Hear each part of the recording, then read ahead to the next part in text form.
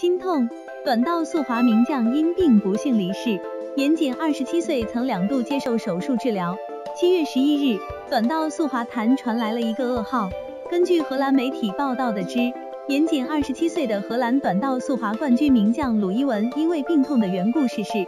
因此，鲁伊文不幸离世的消息也引起了网友们的热议。真的是天妒英才。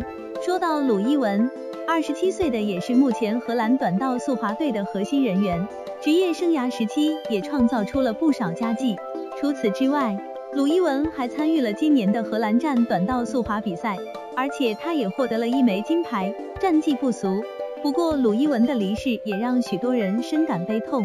国际滑联主席就表示道：“从这一番话可以看出，杨洋也是非常欣赏鲁伊文了。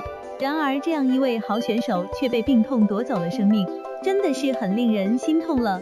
二十七岁这样的大好年龄，鲁伊文原本是可以继续在体坛上奋战的，并且还要为明年的东京奥运会做准备，结果因为突如其来的伤病而离世。果然，人生世事无常啊。”